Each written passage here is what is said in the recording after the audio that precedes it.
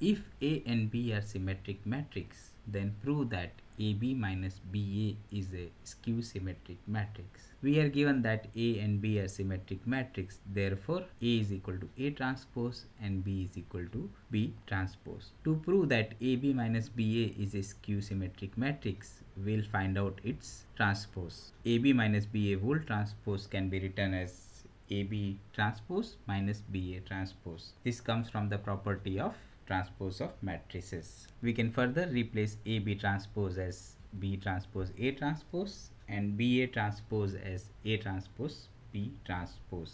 Now again as we are given we can replace A transpose by A and B transpose by B to get BA minus AB. We can rearrange the term to get minus of AB minus BA. Here the transpose has a negative sign hence this is a skew symmetric matrix